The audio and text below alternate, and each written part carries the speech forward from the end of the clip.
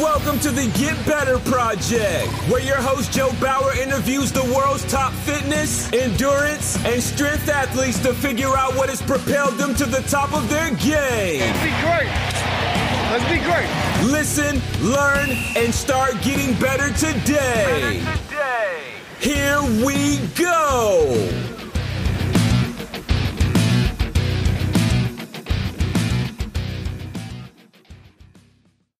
Today, I have the privilege of interviewing six time CrossFit Regionals athlete Jon Gibson.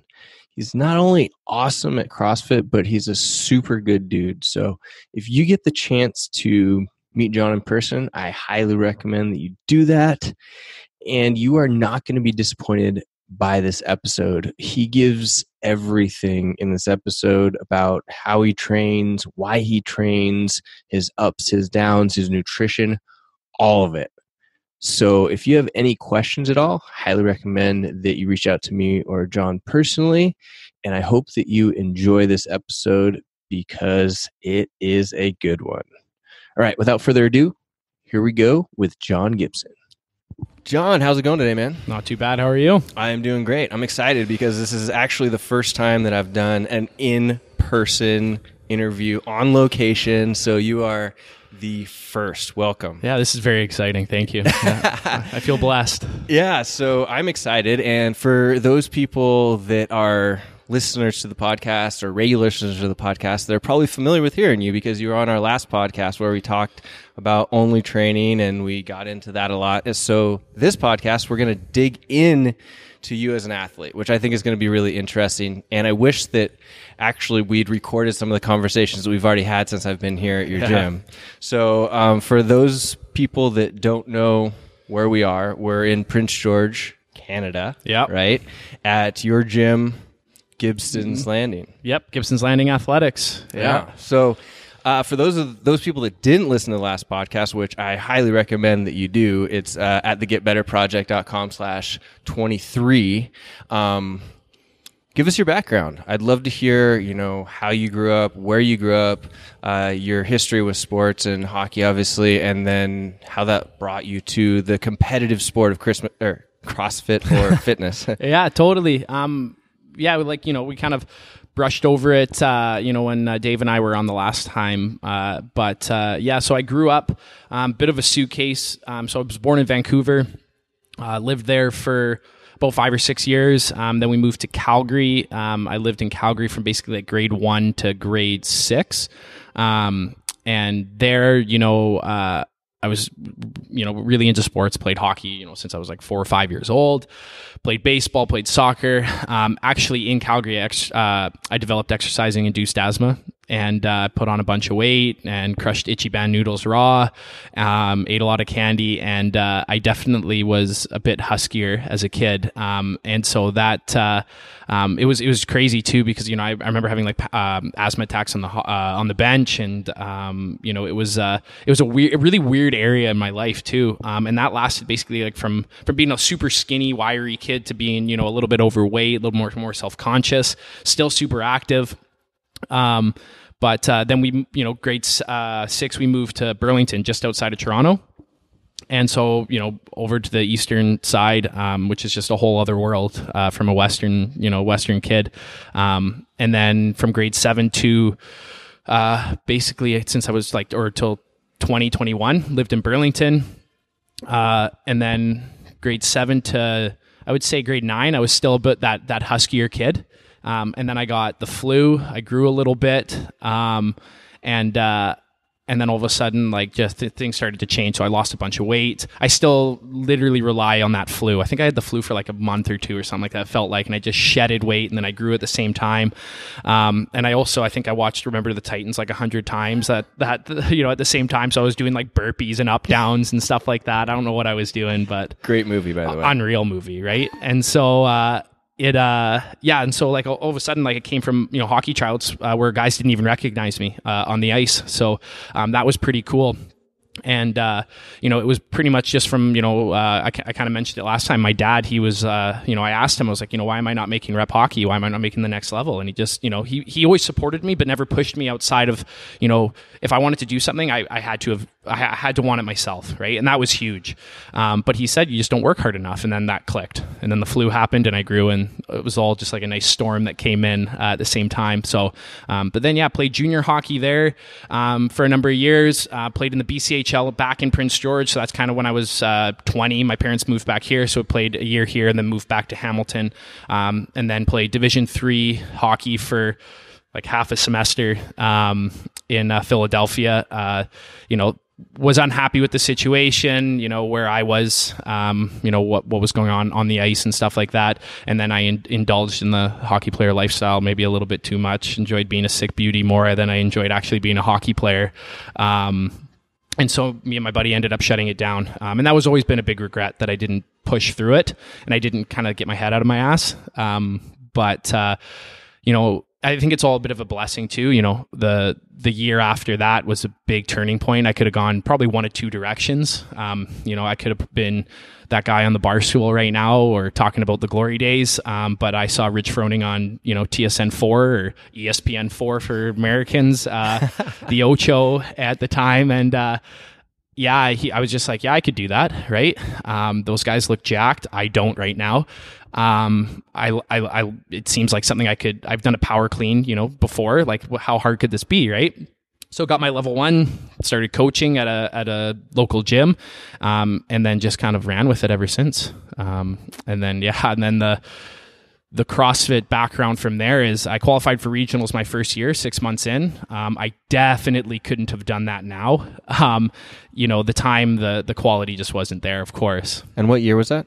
Oh God, um, just looking at the wall, 2000 13, 14. Okay. I think one, of the two. Um, still the old Canada West. Yep. Um, and uh, yeah, I did. You know, I did really well on a few. I think it was the hundreds workout with the hundred wall balls, chest to bar, pistols, dumbbell. I was the only guy to do hundred wall balls unbroken. Singled the chest to bar because couldn't really do chest to bar. But that's my again. I have Nice. little claims of fame to regionals. Like, you know, do something like really cool and then just be horrific at everything else. So uh, yeah, did the hundred wall balls, smashed it, felt good. I was in my Nike Frees. I think I did all my pistols on my toes. Um, I, I had high Under Armour socks on, uh, probably still from my hockey bag. Um, and then I just ragdolled that 70 pound dumbbell, just full spinal too. Like I, like we were talking about, like in my element, just curved, just ripping it off the floor, not giving a shit. So, um, and then, yeah, you know, then competed at regionals ever since. So six straight years. So I guess I could from last year, you just minus six years, and that's when I started. But Yeah. uh, yeah, six regionals. Um, I qualified for. There's one I had to pull out where it was the the snatch ladder. I think that one was. Um, with the strict Nate or the regionals Nate, Yeah, the strict okay. muscle ups and that I had to pull out. I ended up uh, busting up my shoulder pretty good, and I couldn't couldn't snatch, couldn't do anything really. So I had to pull out of that one. Definitely qualified out of the open, which I was pretty proud of. And um, then the next year I came back. Um, blew. I was one of the the guys that blew the pec, so I got sniped out of the sky on the dips. Did you? Yeah, yeah. So that Okay. sucked. It all stemmed from the the bunged up shoulder, but I knew it right away. Yeah, I still finished the workout somehow, just grinded it out. Um, but after I was just like, yeah, something's gone, and uh, and yeah, so I had to pull out there. So I had, you know, back to back years were pretty disappointing, and then.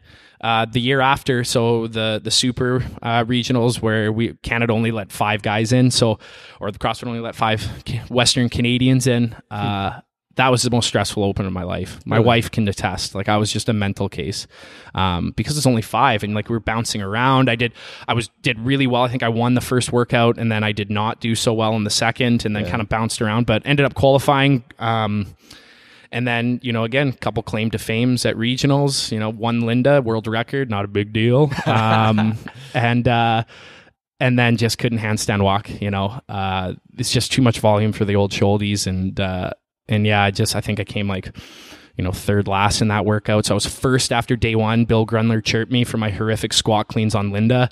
Um, you can even watch the video and he goes, Oh, those don't look pretty. Bill, I'm in first. Like, what are you talking about? And uh, so I, I always give him a bad time. I always try to remind him on Instagram that uh, I, I'm not the prettiest out there or whatever. Um, but uh, uh, yeah, so I ended up uh, winning that workout, doing really well, and then I came second to Fikowski in the dumbbell um, box jump over or uh, step overs on that one. Last one off the handstand push ups. Um, crept back on the toes to bar, crept even more back on the air bike, and then just ran train on that uh, step over. Um, but I had a cool conversation with Brent in, in the background because I was again had pretty bummed about my day two, and he was like, you know, we're we're built to do one thing, and it's step over the box with dumbbells, and that always kind of stuck with me going into that one. So that was cool. But uh, yeah, and then you know took a year off and back at her this year with the qualifiers. So yeah, long-winded story, but that's Mm, that's There- me. There's so much to dig into. Yeah, me here. in a me in a nutshell. Yeah. uh, first things first. How old were you when you started learning your work ethic?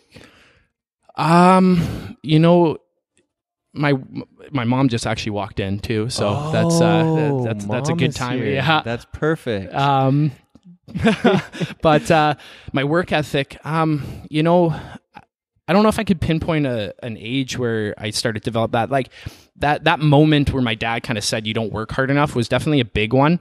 Um, because I, I do think I even like he always told me about in camps like I would you know always kind of try to sit in the back and like wait for guys to um, you know go and then I would kind of just like slide in there and always looked for like the easy way out um, a little bit and when he kind of gave me that dose of reality could have done two things with it. It's just uh, you know uh, shut down and and you know kind of be like, now everyone's out to get me, or I could you know buckle down and, and put in the work. And so I guess you know, 13 years old is when I when that really clicked. Like I always wanted to work hard, but I just I think. I wanted I wanted the end result more than I wanted to the process, and so once that hit, I started to enjoy the process. I started to enjoy r- working out. I started to enjoy, you know, putting in the time, and uh, and I think that was probably the time where it, it really clicked. So That's interesting, and I think that it, there's a lot of people in CrossFit that would like to be good at CrossFit or at sport or at life. They could take uh, a note from just working harder at this point. Um, so I l- always like to touch on it when people talk about that. Uh, do you have any takeaways that you kind of have internalized that have helped you to work harder at things? Um, yeah, I guess um, you know, if if there's any takeaways, it's you know, I think having sitting down and and and really trying to dig into like what you really want. So you know, my goals, you know, since I started within the sport, um, it was to make it to the games. You know, it hasn't happened. Um, but there's other thing like reflection. It's really hard. Like you always want the end result. You want to make the games, and I'm really, you know, I, I, I probably should listen to my own advice more often. But um, you know, being grateful for like what you've done, um, you know, what, what you've done so far and or the the connections you've made the friends you've made the path you've chosen stuff like that. Um, so those things if if if you can enjoy the process of it like that's so important right? Um, and the end result you know it could lead to something better too. So um, yeah there's uh, you know for people within the sport i think it can be just because of you know instagram and how popular it is now you know they can look and see all the the top end people with you know living that that fitness life and it looks good. Um, but those that's a lot of hours in the gym that those guys and, and girls put in right um, so you know loving the process is number one because if you don't love it then just just stop just don't do it because it's too much too too much too many sacrifices you have to make Absolutely. right Yeah. So you've made it to regional six times. I mean, that in and of itself is a fantastic achievement. rip regional Like- so Yeah. yeah I know. I wish that regionals would come back. Yeah. I, I missed regional. I loved too. regionals. It's the Regional was great. yeah. Um, what do you see as the difference between the athletes? Since you are a coach, since you are, you know, programming and doing so much with only training, um, what do you see as the difference between someone like you that's able to make it into this high level athlete? And I consider, you know, regionals athletes like high, high level athletes. You know, if you make it to the games, that's freaking fantastic and, you know, super awesome to do it. But anybody that's made it to regionals has done some serious things right. Um, what do you see as the difference between the people that have made it to that level versus the people that haven't? Are there any things that stick out for you? Um, yeah, like you know, I can't, I can't say like there, there's definitely a, a point. Um, you know, I, I could say that my, you know, it's all about the little things, making sure your sleep's good, making sure uh, your nutrition's dialed in, your training's on point. Um, but you know, I did everything wrong and ended up, you know, still making regionals. Um, so like for for me, like you know, I definitely ate whatever I wanted to. I didn't really concern myself with sleep. Um, so I probably had like a, uh, you know, a small like predisposition to doing well at suffering for whatever reason. Um, but I, I definitely think that you need to. It's it's hard it's hard to explain, but like you you have to be willing to to make actual here you have to be willing to make sacrifices. Um, I and I don't know if some people want to. Um, some people want want to be fitnessers and fitness racers for life, but they're not willing to do those things. Like let's say you know I, I basically stopped hanging out with people and became a hermit for I don't know like five years. Um, and so when I think about it, it's like, yeah, you know, maybe I didn't count my macros and maybe I didn't worry about my sleep so much, but I didn't go out Friday, Saturday night. So I'm getting eight hours of sleep. Um, I didn't, you know, I, I rarely drink. Um, when I do, I'm still kind of an animal, but you know, I, it happens very, very few. Maybe wedding season now yeah. and now and again, but like I think a lot of people aren't willing to do that. I never missed a training session. If anything, I worked out too much. Um, but uh, I, th- I, think the, I think the big thing is like from anything from regionals to games, and that's what didn't make me to the games because I wasn't really d- willing to take that extra extra mile. I think. Um, but from from regionals to not regionals it's the sacrifice like you have to be willing to put time into the gym um, i was willing to work through injuries. Again, maybe not the smartest, but I was willing to push through it. I was willing to not miss a training session, um, like not just like a like not miss a training session or miss a. I, I wouldn't miss a workout. It didn't matter how bad I felt. Um, I wouldn't go out because I was too concerned that it would mess with my uh, my workout the next day. I didn't want to be hungover. I didn't want to do those things. Right. So I did. I became a hermit, and so I I probably you know detached myself from you know my friends and things like that and they'll tell you the same thing but like yeah man you you, you got to want it and if you if you're not willing to sacrifice then like do you really? Like do you want to miss a workout because you're kind of sleepy and it's like ah you know maybe I'll just skip today because I'm kind of tired? Like that just doesn't exist in my world. Um, I do it smarter now. I understand why I'm tired and all those boring things. But uh, but yeah, like you gotta you gotta be willing to sacrifice if you want to make it to that next level, right? Yeah, absolutely. And I have a, a, a fairly similar story myself when getting into entrepreneurship and like shutting myself off from people. So it's really interesting that you bring it up as far as like a fitness thing. Um, so what do you think uh, is missing right now from you making it to your goal. Now that you've had these things that you've screwed up upon or you've screwed up and you've you know seen from a you know 3600 foot view or whatever what do you think it is that you have to fill in in order to make it to the crossfit games? Um it's like it's like the little little things. Um you know having my nutrition dialed like not not just like oh am i eating enough? And like being dialed in like having a routine with it um so I have actually a buddy Joe Scally who's uh, been on me about it, and so I got to make sure I email him back, uh, you know, my three days of eating or whatever, because he's going to help me with it. Um, but uh, but that's number one. Like that is absolutely, I think, number one uh, for me. Um, and that will just tie into everything. Taking care of my body, like getting regular treatments on it, that'll be key. You know, making sure that my elbow and my shoulder and my knees, like I'm feeling good. Sleep, I'm pretty much dialed in. Um, I'm feeling good about that. Um, but it's like it's like that that little extra piece, like not just like oh I ate enough today, right? It's like no, like you knew you ate enough today because your schedule, your meal prep, everything's dialed. Like you don't think like Brent, like nerdiest human in the world. Like he's dialed in, right? Like he's he does not he's not leaving anything to chance, and I still leave those little things to chance, which uh, you just can't do. Sure. Yeah. Absolutely. So a lot of people have trouble with sleep. How do you dial your sleep in? Um, yeah, I'm, I, I do have a pretty good sleep routine. Um, I, there's things like watching TV and stuff like that that I still like to do, but I've never really had a problem falling asleep. It's more staying asleep. Um, so making sure I sleep in a dark room. Um, I limit my caffeine from let's just let's generously say 3:30 in the afternoon, which used to be a little worse. Me too. Yeah. So yeah, we talked about that earlier. Should be like noon, and I should keep it down. But I just I love coffee, and yep.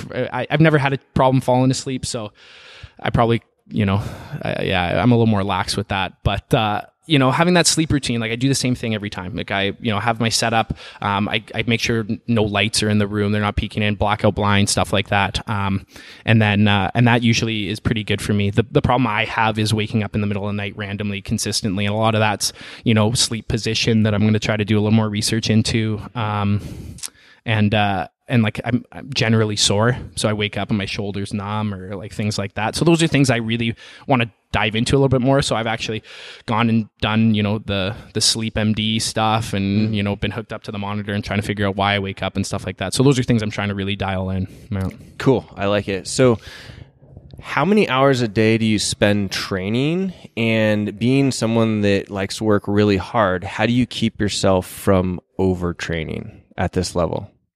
Yeah, um, I train like I used to train two a days pretty well, five days a week with Thursday and Sunday off, um, and then I went down to four days a week, two a days. Um, with Sunday as a just one longer session, um, and since I retired, I just went to singles.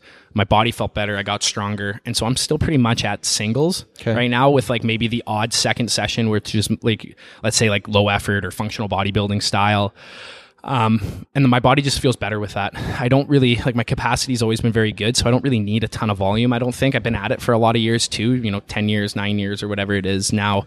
Um, so for me to not overtrain is like is one having confidence. That's a thing I, I really lack, which I think in, a lot of athletes can contest to at some point in their career. Um, the confidence thing is the, the thing that I really struggle with. Um, and so making sure that I'm confident in my ability, that'll limit me from overtraining. That's like number one. Because when I notice I'm overtraining, it's because I don't think I'm prepared or I don't think I'm ready. And so I start doing things outside of my program and outside of what I think I need to do. Instead of like, if I want to go and be active, like maybe just go for a walk, like we talked about earlier, right? Yeah. Um, there's probably more benefit to my overall energy level to that than, you know, throwing down, you know, thrusters and air bike. Um, or maybe doing like, like my second session, if I really want something, maybe something more structural, maybe a lower effort, um, you know, maybe some accessory stuff. Uh, but like knowing that I don't have to run hot all the time is something that's like again that's just comes down to like like do I believe in myself right? Like there's things I need to work on for sure but you don't like w- win a workout worldwide and not be good at it Sure. right? Where I don't see that. I just see the handstand walk where I where I was horrific right, and those are things that I, I really have to take out. Um but uh and yeah so confidence is definitely number one Interesting. And how have you built your confidence? Uh, it's probably like if I'm laying a foundation, I'm I'm like I, I've I've just laid the first couple bricks. Like it's slow. Like all of a sudden, like I'll have confidence. Like I know I'm gonna crush this, and then like that little doubt seeps in. So like for me, honestly, like I got, a, I think I got a lot of work to do because I think I'm leaving a ton of potential out there just for the fact that I just, I, I, I just don't believe in myself. Um, and so if maybe, maybe this is me not being confident on the other end where I probably have more than I think, but you know, it's with everything in life, you know, uh, I always feel like I'm the underdog. So, um, it's something that I work on daily, but it's something I'm, I'm I really struggle with. It's definitely a weakness of mine. Um, uh, so you know, I'm I'm trying to slowly build up. You know, if it's like you know better you know self talk and all those different things or reflection, being grateful for what you have. But yeah, man, something I definitely struggle with. You know, I think it's good to bring up because I think that a lot of people struggle with it. So whether or not it's fitness or you know body composition Yeah. or whatever it may be, um, so even having you that a lot of people look up to talk about how you struggle with confidence is a huge thing for the people that you know are looking at you and like holy smokes he's got a perfect body he's got you know oh a six time you regional seen my athlete. calves? Let's be serious. I mean, I've got I've got white guy calves too. that are just oh, nice, yeah, so They're- they're- you yeah, know. they just runners calves, tall man. tibias, yeah. right? Long tibias. That's, I was yeah. I, yeah, I was reading this book though. It makes us really good at like ultra running and stuff. Oh, So really? you- and just I mean, better looking overall too. Yeah, absolutely. Right. So- You, you don't want to be distracted by nice calves, right? No, we yeah. sh- we should be running marathons probably. Yeah, know what? That makes sense. Yeah. My- My wife would tell you otherwise the way I run. I'm just like a moose out there just clomping around. But uh, but yeah, man, no, it's it but like especially with our sport, like we're like, you know, body comp's a huge thing. Like I think it's it's it's in everything, but like if you chase the body, are you gonna like you're you're gonna leave performance on the table too. And I've I think I've always struggled with that too. You know, I dropped to 202 and I felt really good about my body, but like I sucked. Like I was just lethargic. I, you know, I was weak. I, you know, I couldn't sustain high efforts. Like I was just, my performance was significantly lower, but I felt like I looked better. um, and then I, you know, back up to 216 now and, uh, the abs aren't quite as visible. Um, the triceps are a little bigger though, but, uh, you know, it's, it's something that like I, you have to be like, okay, like it's okay that I have a little bit of more, you know, let's just say more skin right there. But like Sure. in comparison, like what's like, a little bit more skill? What does that even mean, right? Like, like um, do I feel good? Yeah. Do, Right. Am I performing well? Yes. Like, am I proud of my body? Yeah, of course. Yep. Um, but yeah, I think I think body comp is something that gets really twisted in our sport for sure. Oh, uh, twisted, and then like people, because we're so like in this bubble. Yeah. we look at other people that maybe have zero body fat and think that that's the standard when if you look at as a population we're you know the the average person that's working out like yourself is incredibly healthy is super lean and we're just you know we have a different standard that's not realistic Yeah, for sure. And like even if you're going for like health, like you know, abs don't mean healthy, right? No. Um, sometimes it can be the opposite. Um, but I think you know the the world has perceived you know health and fitness as as as a look instead of a feeling. Um, so you know for our, for for if I can give any you know advice to athletes starting out is like you know don't don't chase well i think it's with everybody don't chase a look or some, some ideal of what you think the world wants you to be um, and uh, and find some more um, you know internal drive i think is going to be massive and I, I think i've dealt with that ever you know being like a a shorter, huskier fella growing up. I think that's something that definitely, you know, s- stems from a, uh, a a young age for me. You know, being, you know, the chubby kid in class. Uh, That's something that pro- has always stuck with me. And I get, you know, all of a sudden, like I'll, a buddy will say a joke with me, and I'm like, yeah, but I'm yeah, like, like, it kind of still hits me. I'm like, ah, like too too soon, man. Like go back to like five year old Jon, where he's like super emotional about that. But I hit it right. I it still tugs on the heartstrings sometimes. So it's pretty funny where it's like I know you know, I know I'm healthy. Like, you know, I, I know I feel good and, you know, I, I feel like I look good. And, uh, and so it's weird when those things set in, right? When all of a sudden you get something, you flash to a, a younger, more self, you know, uh, self-conscious you kind of creeps back in. So you know just you know finding that internal drive that something that makes you happy like don't worry about the aesthetics of it. And that it's harder it's easier said than done but like especially within our sport like it's all about performance right? You're not getting an award because you look cut. Right. Right? So like if you if you're if you're slow it doesn't matter if you have a six pack and you know huge shoulders like it, it it just doesn't matter within our sport. So chase the performance and also that internal drive because if you're like i want to look good but i want to make the games do you though comes to that sacrifice right do you like what do you what, do you actually want absolutely um on that note do you know how many calories you eat uh roughly i'm about probably 35 to 38 100 cals. Okay. Um, I, I lowered it since I went down to one training day. Um, so I kind of fluctuated around like 32, 33. Um, on a daily, I probably don't know enough of what I'm at, which is another thing that kind of we were talking about. But um, like I need to know exactly what I hit every night before I go to bed. Yeah. Um, but on average, I'm about that when I when I check in with myself. Um, and how tall are you I'm six one and a half. okay Earn that half. absolutely Yeah. Well, my dad's six five, and I was always pissed that I was never six five. But now in CrossFit, it's just a blessing. Yeah. And I'm just like, thank you, mom, for being five one.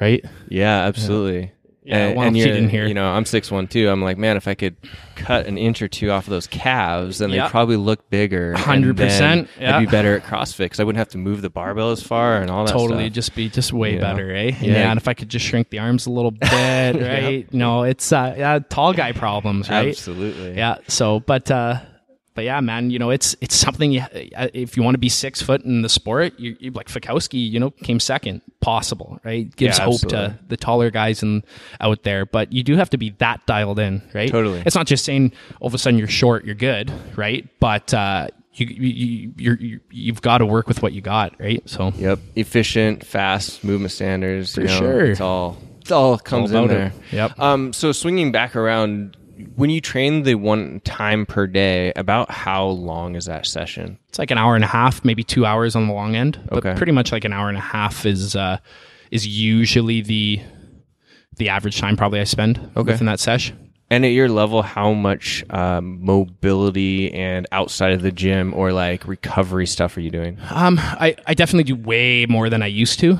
Um, like I used to just do zero. Like I, I don't even know if I warmed up, and I just like did some arm circles and started. And now like I think about it, I'm like, oh, think about all the repetitions you missed from like a 15 minute warm up because I think it adds up, right? Yeah. Like you know you're doing you know side planks or you're doing you know uh, reverse flies or whatever you want to do to to you know get your body ready to go like those that's like just you know hours and hours of repetition and accumulation work that you wouldn't get otherwise. So it's not just a warm up but it's you know providing structure and uh, support to your muscles and all those things. Um, and so outside of that um, I, I, probably a lot like i would say like maybe a half an hour outside of my training to it. Okay. Um, and if that's mobility work or like i've always had relatively good mobility. So I've never really had to ha- do extra amount to get into ranges. I've always been able to hit, you know, everything pretty well. Um, but like when the aches and pains set in, you know, I know that I've probably been slacking, getting a little tight here and there. So I try to do about a half an hour, probably a day. On my rest days, I try to just take them off completely. Okay. Like don't, I try not to do too much. I'll walk twice a day. Um, but other than that, I try to just, just even mentally, just like just shut it down from being active in the gym setting. And do you have any recovery tools that you really like that have helped you a lot in the past? Um, like uh, like like different like bands or like yeah, like do you have any? or- Yeah, do you have anything that you know has really helped you? Um, like for example, I would say that you know I've done a lot of cold therapy, and that seems Oh, to be yeah. helpful. And things yeah, like I, um, massage has been number one for me. Um, I, I, I like it's really saved my shoulder. Um, my wife's uh, a registered massage therapist, and so that's been a lifeline. Yeah, for sure. But like that's been number one. And I'm not just pumping her tires or anything, but she's the best. Um, but uh, but yeah, that's something that's been really helpful, um, and that's probably saved me and saved my shoulder. Um, and you know when I first pulled out of regionals, that's how I met her. was she actually walked into the gym and I was trying out the snatch ladder and you know I go for the 185 and I fail it and I go for the 185 and I fail it. And she's standing on the other side of the gym looking for information about signing up. And uh and I missed my last one. I got rap music playing on and I have my belt and I just throw it and I'm just like, fuck. And then all of a sudden I like look over and I'm like, oh, hey, how's it going? Can I help you? And she's just like, instantly she fell in love. She, she'd tell you otherwise, but that's for sure what it was. And uh, yeah, you know, gave her the spiel uh, about it or whatever. And she's like, it was kind of cool how you could turn on a dime like that. And it was like, yeah, you're very frustrated. I could tell something wasn't going right. And then, you know, you saw me and you're, you know, you're instantly like, oh, hey, like, you know, can I help you out? And so she, she, I think she appreciated that. And then I do think she fell in love with me that first moment. So even though I couldn't snatch, she still loves me, right? So, but um, massage has been key. Yeah, I think that's probably number one. Um, but like the recovery tool is doing less. It's probably been my most beneficial. It's just less training. Um, that's allowed my body to actually recover. Um, It's interesting that you say that, and I'd like to, you know, uh, get into that even more because we've talked about how you've done two days and then gone down to a single time. And I come from, I'm cut from the same cloth. So like more is better, more is better, and then you burn yourself out and you can't do anything.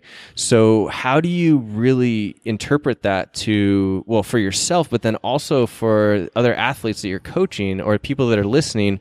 How do they know when to turn it off? Oh yeah, man. Like you, like you said, like you get it, right? You know, we had this conversation before. Like you just you, you, something internal about loving to, to sit in that dark place and just like hold on longer than other people can or Yep. other people want to, because you almost like crave it, right? Um, you know, what I try to tell my athletes is, uh, you know, there's a guy I can think of. I just love him to death, and he'll probably know that I'm talking about him. But uh, he just loves to grind, and I love it about him. Um, so getting him to slow down is always tough. But you know, I think just having constant communication with intent with the athlete is key. Like, like what do you want? Do you want to make the games, or do you want to get better? Do you want to do this? Like, this will help you. Trust me, I've been there. Um, I think having trust with your athletes number one. You know, do they trust what you're talking about, right? Um, and then always coming back. Like if you know something happens and they overtrain and they have a little tweak, trying to revert back, not scold them or anything, but like be like, hey, like you, this is why we're talking about it. Like, you know, you hurt your back or your shoulder, your knee, or whatever. Like, let's look back at your training. How much extra work did you do? Oh yeah, you know, I did this and this. Um, so like for me, like I just I, I could still grind my face off. Like if I had, you know, two months to live, the first thing I would do is just work out as much as I possibly could. Like that's probably people would be like, "You're an idiot," like, but I'm like, "Yeah, like that's something I absolutely love, right?" And I love. I wouldn't worry about uh, overtraining, right? Because I, you know, only have two months left, so I'd overtrain my face off. Right. um, but uh, but yeah, you know, you you just gotta you, you gotta tell yourself that you know it's, it's I guess I still struggle with it, but you know, what, what's what, what's your goal? Like, do you just want to overtrain to overtrain? Well, go do that, but you won't you won't you won't make the game. So like, if this is me talking to me, Um, you won't make the games by doing that because you'll be weaker, you'll be more tired, uh, you'll get injured. Um, so, like, yeah, yeah, I love doing that. Um, but it, does it does it match with my overall goal? No, it doesn't. Okay, well then, be smarter, right? Um, but you know, what, what, what do you think about that? How do how do you kind of manage that? It's a great question. Um, I struggle, and Yeah. I talk with people like yourself that you know I think are smarter than me, and I try and get information, and I use things like Whoop, and I. Not that I think something like Whoop is an end all be all, but I try and take all of these different metrics and put them together and then test out things like you're saying. Like I went to four days a week for a little while where I was Yeah. only training four days a week, about an hour and a half at a time, and saw some gains from those types of things. So I don't personally, I haven't found the answer, but you know, I, I kind of like the process. It's like Yeah. anything else. It's cool to to go through the process Yeah. Uh, training is a process. Figuring out what your recovery should be is a process.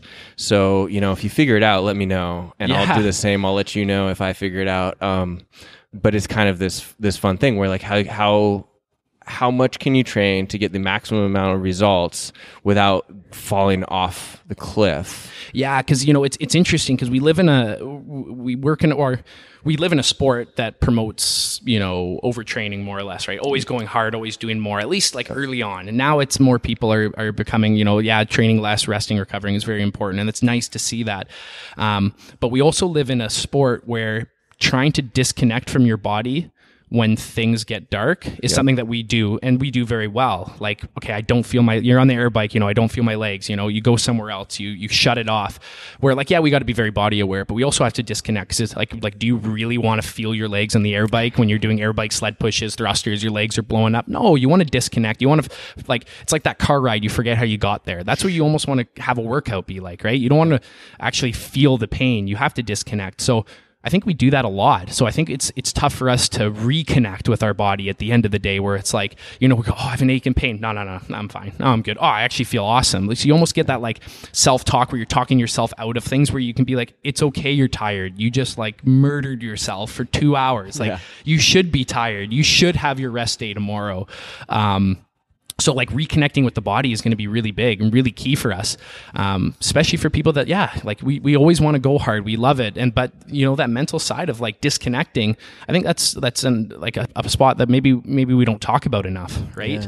Um, because you know no one wants to look weak or look like they're not training um, hard enough right? So you know just like internally looking back and th- i think it can go the other way. I think people can be like Ooh, I'm a little tired today. I think I'm, I think I'm just going to take another rest day, and they can start missing those workouts. So, finding uh, finding that balance is going to be really key, and it's really hard for people, right? Yeah. Um, so, always seeking out, like you said, seek out people. I, I do it all the time. I seek out people that are way smarter than me.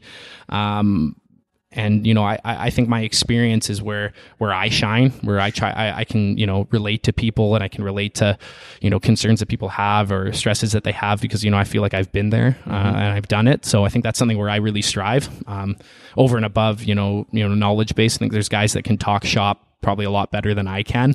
Um, but I, I feel like I can relate to. I'm just you know that that people's coach. You know, I can re- I can I can relate uh, to, to to to the struggles and stuff like that because I've been there. So Speaking of coaching, uh, do you have a coach? I do, yeah. And so um, I, I do a combination. Um, I, I follow, you know, Dave. Uh, you know, he's gonna fix my snatch and do all those good things and make me super strong. Um, but I also have uh, Sam Smith, which I've been with for the last year. Um, uh, from Big Dogs, and uh, you know he was just down here the other weekend, um, and we uh, uh, and we threw down and uh, and you know he's been really helpful. I was with Mike Fitzgerald from OPT before that, and he, you know, I think it was actually Mitch, Mitch or Joe or Brent. It was at um, an open workout down um, at Rocky Point CrossFit. Um, uh, in the lower mainland and uh, you know that's how i got kind of connected with mike fitzgerald and because i was just like you know doing 275 grace horrifically and like doing random stuff and they just looked at me like man like go talk to mike like like figure your shit out and uh, and so i was with mike for a couple years and uh, and he yeah definitely opened my eyes to uh, a whole different way of training. I just remember like he'd give me like an increasing effort work, you know, five rounds of, you know, whatever. And it's like increase your pace each set. And I looked at it, I'm like, how about I just go hard every round? like, yeah. yeah, see you, Mike. And then I'd be like, yeah, that was awesome. And he's like, so how'd it go? I'm like, I, I don't, I don't know if I increased my pace. I probably got worse. And he goes, yeah, like, like little things like, yeah, no, that's not correct. Like do this, this, and this. Uh, and I remember just like, just being like opening my eyes, like what? Like I, like I don't have to like red line. I don't have to send it like 24 seven and it's uh, it was it was eye opening to my training um, and definitely helped me grow as an athlete and a coach. Um, so yeah, and now you know jumping on with the only guys, uh, just again expose myself to to to better and better coaches and um, and yeah, it's gonna be you know I'm really excited about where I am right now. Um, I don't feel like I you know I probably left stuff on the table, but I, I do like where where I'm at and kind of where things are heading and the people I'm in contact with and the, the people uh, I've surrounded myself with within the sport. So yeah. Yeah, that's really cool. I definitely am a huge advocate of surrounding myself with the people that I want to be like or learn from constantly. I yep. think that's that's a huge huge attribute. So it's cool to hear you say that. Um, I'd love to know uh, number one how you go about picking a coach. And number two, I'd also like, before we get into that, touching on this idea of not sending it all the time. Because um, we kind of talked about this uh, before the podcast um, and how it can be an attribute to pace or yeah. uh, not go 100% to the dark place all the time, even though let's say that there's a workout that comes up and we just want to hit it hard and hold on essentially. Yeah. Um, so if you could, number one, go, go tell us about pacing or not sending it all the time and then how to pick a coach. Yeah so like to pick a coach um, i think experience is key um, especially within our sport. I've talked with dave about it a lot. Um, if you don't understand it could be with every sport but like with ours like if you don't understand how it feels to perform a certain workout like you just have never done it um, doesn't mean you have to be a games athlete or anything but if you don't know how it feels to kind of go into that dark place or you don't know how it feels like to recover from a heavy weightlifting session or um, you, you, you know if you, if you haven't gone through that stuff it's I, I think it's really hard to relate to the client. So as a as a client I definitely look for people that have been there. You know Mike been at the games uh, Sam competed at a regional level um, Dave competed at a regional level uh, Mitch competed at a games level but damn near games they, yeah yeah like that's a that's a you know he like ridiculously unreal athlete um um, you know, Dave as well, also unbelievable uh, weightlifter. Um, look for people that have have done it, and then have a conversation with them. And if they if they know what they're talking about, and you feel comfortable with them, and you've built a rapport, um, I don't think there's, you know, I think that's kind of like the perfect harmony. You know, have they been there? Um, can you relate to them? Um, are they saying the right things? Do your own research within your sport too. Know your sport, because if you go to a person who, you know, let's say even though you know they're a games athlete, and they start, you know, talking about all these different things and you've done your research and you're like, well, that doesn't actually make any sense. Like maybe they're just trying to, you know, sell you, you know, snake oil. Um, so, but, but how would you know that if you didn't know about energy systems or strength training? If you just go in blindfolded, I don't think that's good either. I think you need to do some research within your sport and then you can, you know, relate to what the coach is saying. Cause if they're spitting off stuff that's way above your level and you're like, uh, what? Then you might take everything they, you know, they say, uh, to heart, or you might just not be able to, you know, retain anything they say or whatever. So, like, understand your sport, um, feel comfortable with the coach, um, and have that coach have experience within the sport of CrossFit. I think some, I think really those are probably the the three main things. Cool. Love it. And then uh, sending it. yeah. um, eh, and like I said, we had a conversation about this earlier. I tried to do a, a workout that you know you actually programmed and it was at 80 to 85% or it was either you or dave that programmed it i'm not sure and uh, it was really hard so we had a, a good conversation about that. How do you tackle that when it, we're in a sport where it looks like everybody is sending it all the time and that's how you get better? Yeah. Um, you know, simple. If you send it all the time, you're just going to burn out. Like that's just, it's just inevitable. It might not be tomorrow. It might be, you know, two years down the road, but it's going to happen. Um, and I do believe you're going to leave a lot on the table because um, recovery is everything, right? And if you're just sending it every single day, you know, like we were talking about earlier, so you gain 15 extra reps in a, in a workout that doesn't matter, but you you're you, you know your back sore tomorrow so you can't lift correctly or you're you have DOMs like two minutes after your workout like I was talking about DT uh, that qualifier like if I did that every day I would just I would never train like I would just I would eventually be broken and I think that's what's happened throughout my my my CrossFit career is that I, I, definitely overtrained and I became broken. There's two years where I couldn't compete in a full regional weekend. Well, I did too much, right? Um, and so, you know, you have to learn how to pace. I think you can also learn how to really understand yourself as well. So like if you're if you're able to work under different intensities, you're you're able to understand, you know, where your limitations are, you're able to uh, change gears if you have to. So if there's a movement that, you know, uh, really elevates your heart rate or really just bags you, um, knowing how to pace that workout and then knowing how to increase it at other areas you are strong at, or maybe you have to slow down, you know, you smash ring muscle ups, but, you know, doing the 10 unbroken's gonna you know, fatigue your arms just enough that you can't, you know, string whatever it is. Um, knowing how to pace yourself is going to be so huge. And you're just going to gain so much more knowledge about yourself if you can work under 50, 60, 70, 80, 100%. Um, because then there's times where you really need to send it. So, like, if you're always you know, doing a, a workout at 100% of what you think is 100% effort for, let's say, eight minutes all the time, are you really going 100%? Because at some point, you're, you're just going to, you're, you're in survival mode, right? Um, and I think that's a, a, pretty common conversation that's been going around in our in our CrossFit world now is is uh, is like, do we really go 100% all the time too. Like I think it's important to like hit the air bike for 15 seconds and just go ham, you know, go at 110% effort, which uh, or, you know, if it's mixed modal, you know, going 100% effort for a minute and then fully recovering. Like you got to hit those different intensities. So, you know, I think I think we, we, we need to learn how to not send it and how to actually send it, right? And right. then and then everywhere in the middle is key.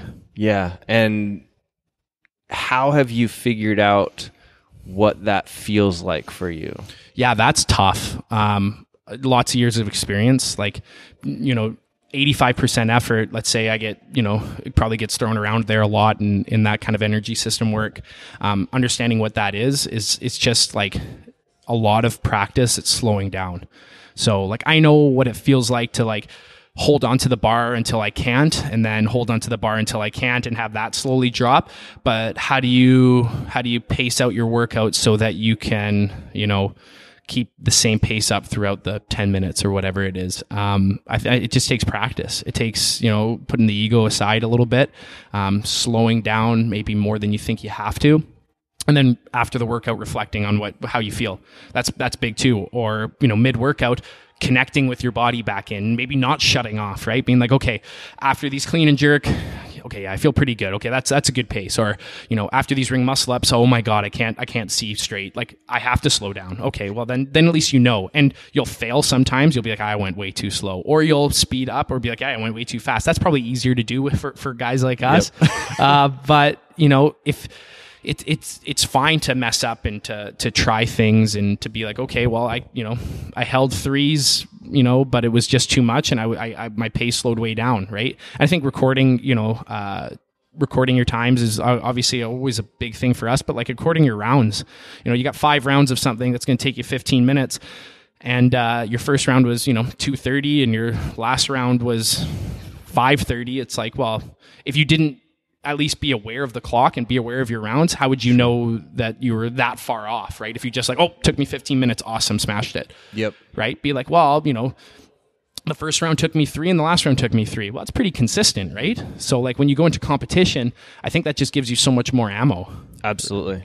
Absolutely. Yeah. And something that I've found that's interesting, like, I'm really bad at this. So, I think I'm, I'm really interested in hearing how, how you attack it um, is I've had my watch and I'll put the lap timer on so oh, I don't sick, have to yeah. like actually look and think about it because I can't think during the work. I can hardly, Fair enough. Yeah. I can hardly count, man. Yeah, so uh, I'll get done with the round and sometimes it's not even the end of the round because I can't think. But I'll try and I'll click the lap timer and at the end I'll go back and look at my Garmin and or, or whatever and just review what you're saying there, and that's been super helpful. Um, to change gears just a little bit, do you take any supplements? Uh, just creatine, just for the pump.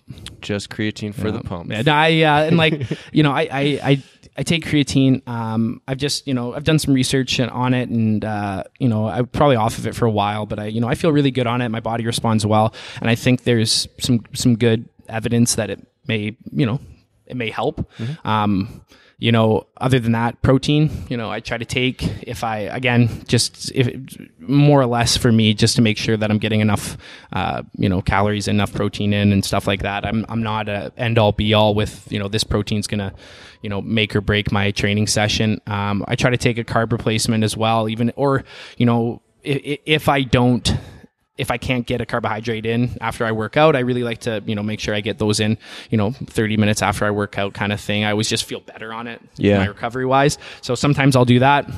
And then I just take like, you know, fish oils, you know, multivitamins. Um, that's pretty well it. Like I'm pretty basic. Like I'm not very exciting. Like I don't have anything I super plug or um, maybe just because no one knows who I am and no one's giving me that sponsorship or whatever. Um, I mean, somebody should. If Oh, somebody's yeah, course, listening to right? this and you've got some really super creatine Yeah, product, like you- if you're Purple K and you just want to like tap into the 15 year old me that's uh, dying, like it, you know, it's uh, it's yeah, just I've never really been big into it, uh, into supplements that way. I think there's probably a lot of benefit, especially to help. Um, you know, people like us that just push the limits.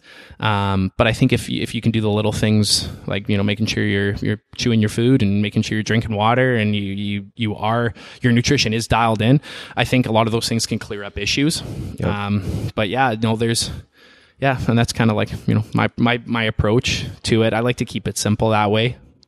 Yeah, I think that that's a big thing too. And I, I bring up the question because a lot of people ask me, you know, what supplements do you like to take and blah, blah, blah. And it always comes back to, you know, well, how's your diet? Is your food that you're taking in, you know, really good and nutritious? And then are you looking at the supplements that you're taking? Well, it's like right in the name. It's supplements. It should, you know, like supplement an already balanced lifestyle or supplement already like uh, it's not the uh, it's not like oh you take N.O.-Xplode and you're gonna PR every day. No, you might your eyes might blow out of your head, but uh, like if anything, uh, over reliance on supplements is gonna have the opposite effect. oh, absolutely. um, mentally and physically. Like uh, I drink enough coffee, don't need a pre workout. Right. Just don't. Um, eh, or if I'm like, oh, I didn't get my protein in, I'm brutal now. Like I've, I'm all of a sudden 100 pounds less on my snatch. I can't afford that, Yep. right? So, uh, you know, mentally, like you got to make sure that it is balanced. Like, yeah, do if, if, if you have that strong base, like the supplements can only just you know just help you out. They're not going to make or break it for sure, and that's for like general health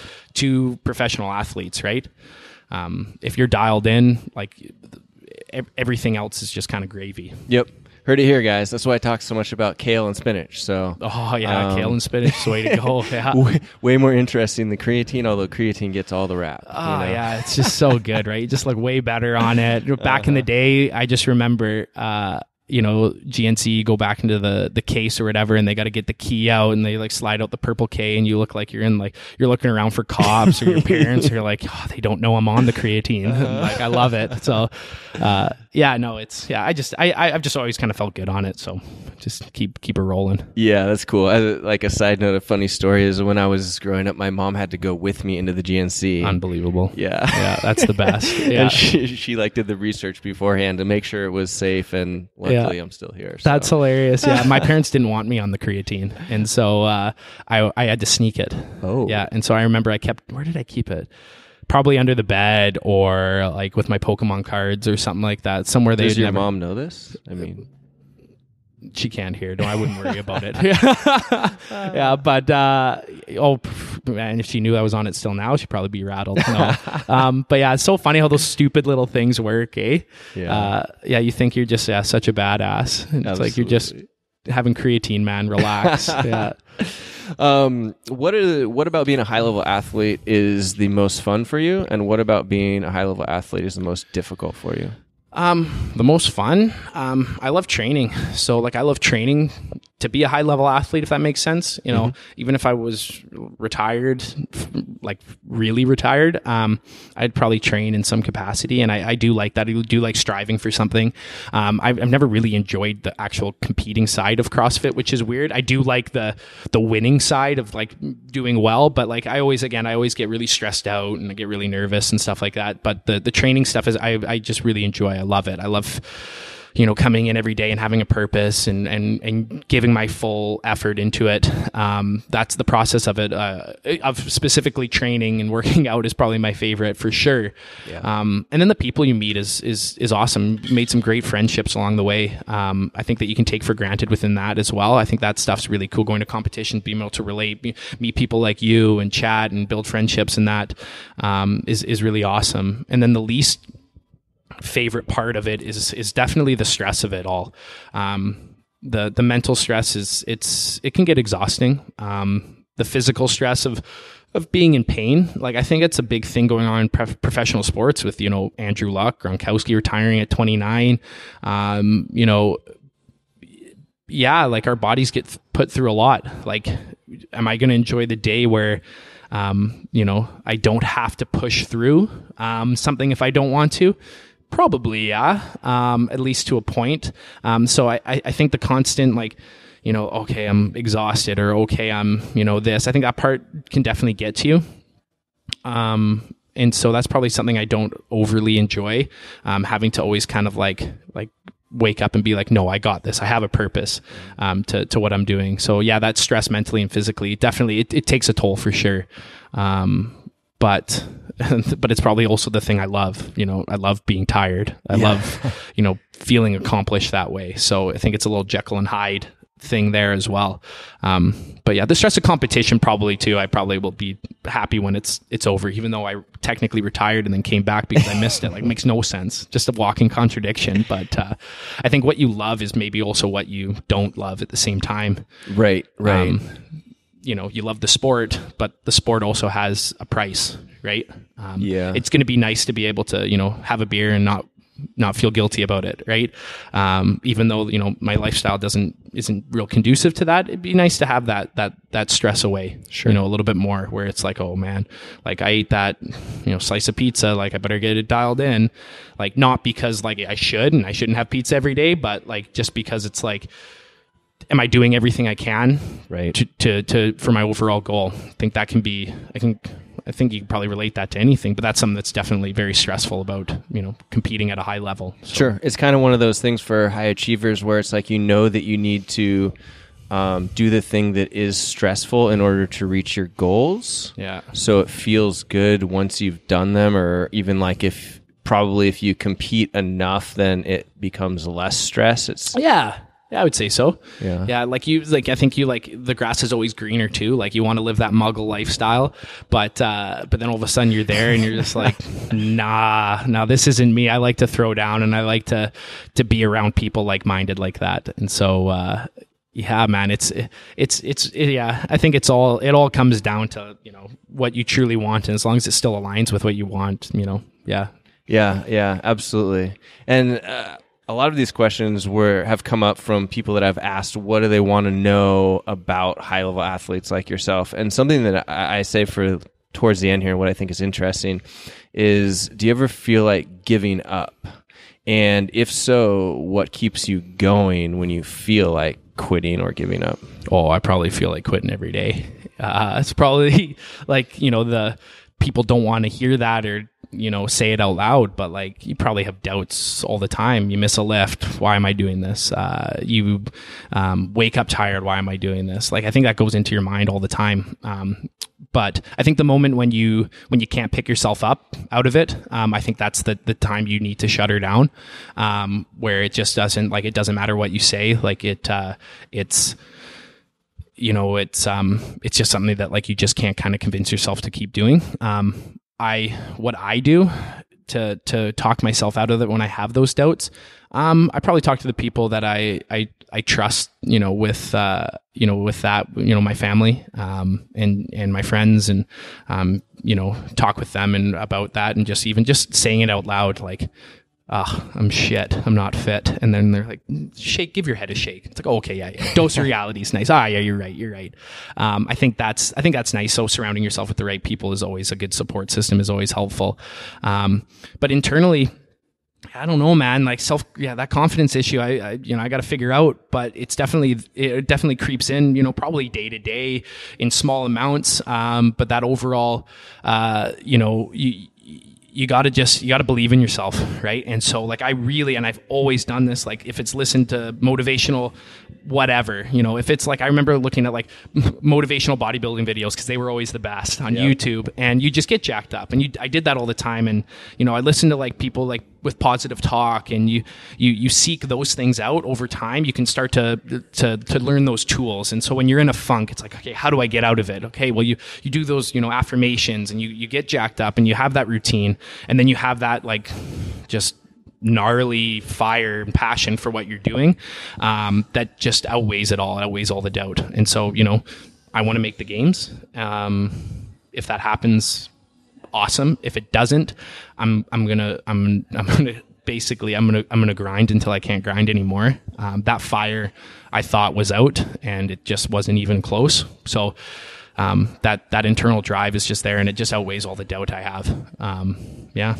I love it. What do you tell somebody when they come to you and they say, "Hey, man, I want to be a high level CrossFit athlete and make it to since we don't have regionals now, you know, sanctional or something like that. I want to be in the elite class." What do you tell them? Um, what do you think it takes to get there? Um, and then you can see how how either close they are to the actual answer or how disconnected they are from it. Because um, there's no there's no one answer to it. But if someone's like, it's like, so how do you, what do you think it takes? It's like, well, you know, you got to like, you know, train your face off and you got to, you know, dial in your nutrition. It's like, okay, awesome. Yeah. And then, you know, so how are you going to do that? And it's like, well, I'm going to train my face off and I'm going to dial in my nutrition. It's like, okay, awesome. So like, let's go like day to day. Let's break it down. Like, these are what you need to do. This is what you need to do. It's like, oh yeah, but I go out Friday nights. It's like, okay, well, you don't do that anymore. or you do it once a month, right? you still live, but like that's not your priority anymore. And then you start having these conversations, you start dialing it in because it's like, are you willing to sacrifice a lot of your life for this? Like, if you want to be a games athlete, if you want to be a high level athlete, you have to sacrifice, and you just find out if they're willing to, um, you know, and you find out where they are. So it's like, is it just, is it a is it a dream or is it like a passion right? Are they just thinking they want to or do they actually um, and it might not take one conversation probably won't. It'll probably take like a month of training two months a year two years whatever it does. Um, but you ask them like what do you think it takes? And then you know well this is what my experience is. This is what i believe it takes to get to that top end. Um, i've done all those things and i still haven't made it. You know i still have a lot of room to improve on. Uh, so yeah you just it's it's more than you think. Um, but it's like I don't know. It's it, it, it's a cool it's a cool life to live, at least to to strive for it. Um, yeah. So it's just as long as it's something that they want to do, yeah, man. Um, yeah, you just you, you gotta you gotta want it, right? And you gotta be willing to to to sacrifice a little and sacrifice a lot to get there. So see if they're willing to do that.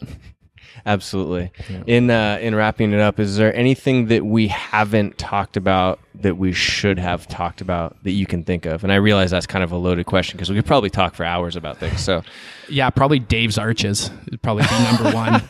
um, you know, Dave Spur, uh, coach at Only, um, he is you know he has the weakest arches in the game, um, and uh, if no one knows about Dave's arches. Um, we are gonna. My my plan is to is to film of him working out where it's primarily arch work, and just so everybody can just see see see how how much joy his uh, the pain in his arches brings to everybody else. Um, I remember a workout we had at uh, uh, in Vernon, and it was uh, you know uh, Jeremy Meredith, Tyson, uh, Fikowski, myself, um, you know, we were all down there training and Dave was working out and it was kind of like a, a pre-regionals comp. And we did a workout. I don't even remember what it was. And Dave's, Dave's arches blew up literally every workout we did. But like guys were having to rip his shoes off and like, it's just, ah, my arches is the greatest thing ever. Uh, so, you know, if, if you don't know about his arches, like we, we got to let the world know, like right. this is something pretty special. We'll see if we can find a video or something. oh, there's got to be a picture. I, yeah. Fitzy might have it or I'll, I'll see if uh, Jeremy does, but uh, it's just the glory in his eyes when that arch pain sets in. It's just it brings joy to me. So so if we can find one of these videos or pictures, we're going to put it on the show notes page, and that's going to be at thegetbetterproject.com slash 24. So if you guys, if we did a good job, it will be sitting there. And i if not, maybe, you know, I'm going to try and find some images and or videos of your uh, 100 wall balls and maybe your attire that you were wearing in regionals. Oh, yeah, Um, with the. Nike Frees. I'm going to Nike Frees, my Gong Show hat. Yep. Uh, you should also um, the 50 deadlifts. That was pretty impressive too. So like the rowing deadlift, box jump over, dips, and then on, you have wall balls, and then you have to go back on the deadlifts. Did 50 unbroken at 185, carried the bar over. Spine wasn't straight one time. I don't even think standing my spine was straight.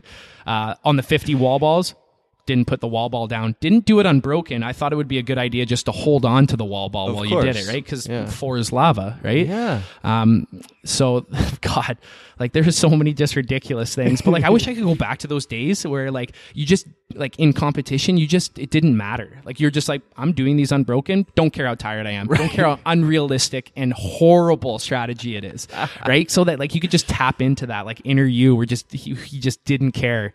Uh those that would be the best. Cause I think when you when you get uh when you get more experience, you think too much, right? Like I just want to black out and just carry that bar over. Uh, you know, get back to those days. Those would be the best. Just learn what you're made of. Ah, kind of exactly. yeah.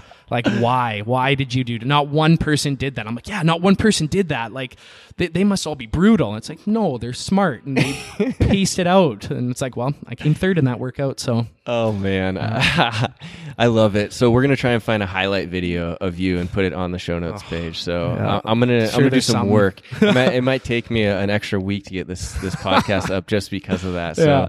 hopefully I'll have something really good for you guys. Um, let's talk last thing about only training let's plug that and and plug you know where people can follow you so if you could tell us about what only training is if they didn't listen to the last podcast how they can get involved with you as a coach and or follow you as you you know crush this path to the games Yeah, man. Um, only training. Um, I got on board with uh, uh, Dave Spur and Mitch Barnard. Um, you know, I kind of just heard them little rumblings about it, and so I messaged them and said, "Hey, like, you know, I, I kind of like what you're talking about. Um, I, get me involved somehow."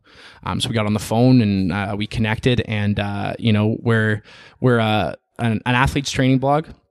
So uh, paid training blog. We also have a free blog where people can kind of try out our workouts through the paid uh, training blog. There's going to be you know intense and extra extra work and stuff like that. Um, but these are you know we understand like a one-on-one coach is a lot of it's it's an investment, right? Um, some people don't have that type of investment or aren't willing to put in the time maybe just yet. Um, we believe that we've created a program um, that allows people to experience high level coaching at, an, at at a price that's affordable, maybe for for now or you know forever. Um, and we we believe that we're doing something different within the training format. Um, you know, being able to learn when to to bring it down, learn when to bring it up. Um, we we believe we do a very good job at that, and that's something that we're extremely passionate about. And we want to reach as many people as possible. So we don't want to handcuff ourselves to just a small group of people. We do take individual clients if you're looking for that next level, or if you're rehabbing from an injury or whatever you just like that intimate setting we do that as well. And uh, and and again we really enjoy that. We love doing that. We love having one-on-one clients. Um, but we can have a broader reach you know through through a blog. And if we can impact more people to to train a little smarter and train a little better and be part of an unreal community um, i think that's you know i think that's our, our main mission. And we do love the community. Like you know we're all beauties out there right? So like we're, we're cool people to hang out with at least we think so. Uh, maybe not mitch but uh, uh, we uh, you know we, we love having you know we use SugarWOD for for our programming and we have a good community in there and you can follow the leaderboard and you can chat and you can chirp uh, and you know you can give each other fist bumps and stuff like that which is really awesome um, and and we want to build that that only community the people that you know love to rep the brand and love to to train hard and uh, you know learn about themselves and and learn a new style of training that we think is is, is missed especially in the training blog format sure. um, and so we're really excited about that, really passionate. You can find us on uh, Only Training on Instagram, or Training Only, uh, I think is the, the way it goes. Uh, and then our uh, uh, website is uh, Training Only, I believe, as well. Um, and yeah, you know, if you you can always DM me at Gib underscore only training. Um, and if you have any questions, I, I don't have very many followers, so I'll get back to you right away. um, and and yeah, you know, we we're excited. We, we we feel like we can, you know, we can help, you know, help fill the gap in uh, that's you know from the personalized fitness world to the you know group blogging or group training world where we can find that place in the middle where we're we're impacting you know the most people and we're we're we're I'm stuttering here but you know we're uh you know we're relaying our experience um, and what we've done and what we've succeeded with and what we've struggled with. And I think we we have a really good team setting that way. Um, and actually, we just added uh, Emily Tanner as well, um, who's going to fix my handstand push-ups. Nice. So I got Dave fixing my snatch. Uh, you know, Emily fixing my handstand push-ups, and Mitch hopefully fixing my portfolio. So uh, hey. uh, you know, we're hitting it at all angles there, right? um, and then I'm just there for the comic relief, I guess, right? They just keep me around. I'm a good locker room guy, right? Good, put on the good tunes, like get everyone fired up, right? Yeah. You know, not a ton of skill, but like just just nice guy to hang out with. Like you want to come, you want to get to the arena because I'm there, right? yeah. 100, 150 wall balls in a row. all day. That's it. All day long. Yeah. yeah. No big deal. No big deal. Yeah. um, so, guys, if you haven't listened to the podcast that we did, that was the one before this at thegetbetterproject.com slash 23, where they talk in depth about only training, you should definitely do that. Um, it's a very innovative, interesting concept and program that I think is awesome. So I would highly recommend that you check that out and definitely follow Jon on Instagram because he said he needs more followers and uh, that'll bring my confidence up for sure. Yeah, I mean yeah. it brings all of our confidence up. That's so, all that matters. Yeah, yeah, that's what it is. How, how many people are following you? That's it. That's determines I, if you're a good person. I not. think this day and age, that's what high schoolers are ranking their popularity on. So, like, yeah, if course. we want to be like high schoolers, and yeah, it makes perfect sense. Yeah, I'll chop my hair off, get a fade, right? Yeah, I mean, tight pants. Totally. Anything you could do to stand out, Instagram. You know what I've seen with young kids actually right now What's is there it, like champions coming back, right? You see champion everything. You know what I've seen kids wear into the gym? They roll in with those like high top like champion socks. Really? And I'm just like I have like 800 pairs of those from Costco. Oh. And like oh. they were never cool when I grew up. Like yeah. they were the ones that you had like underneath like in your snow boots and everything and yep. now kids are just like flocking and running at like big high and I'm just like, "What?" Like like you literally go to Costco and get like 800 pairs and they probably bought them for like 30 bucks from like a specialty store. I'm like, what's going on here? Like this is, this is no good. yeah. So yeah, that one blew my mind and I'm into this. I'm, I'm all about that sock game too, but like, I'm not going back into the, champion sock world. I, I don't get even, a clue. I don't even know what to what's say. What's going on with that. the youth? Yeah, I, it's ridiculous. I, I don't understand it at all. But yeah. uh, well, what are you going to do? Right? This is the kind of stuff that you're going to get if you follow Jon on Instagram, though. Yeah, um, socks and sandals. Yeah, yeah, that's real life. Absolutely. Yeah, comfort and style. Mm-hmm. Mm-hmm. Yeah. Absolutely. Well, Jon, this has been awesome. I appreciate your time, and uh, maybe we'll do it again sometime. Absolutely, cool. man. No, yeah. thanks for stopping by, PG. Absolutely. All right, we'll talk to you soon. Talk to you soon, my man. Hey guys, that was my interview of six time CrossFit Regionals athlete Jon Gibson. I hope you enjoyed it as much as I did. Jon's just a fantastic guy, and I highly recommend that you get behind him and root him on this CrossFit and the next CrossFit seasons as he tries to make it to the CrossFit Games. I also recommend that you check out the show notes at thegetbetterproject.com slash Jon Gibson. And make sure you're following Jon on all of his social channels because he posts some really cool stuff.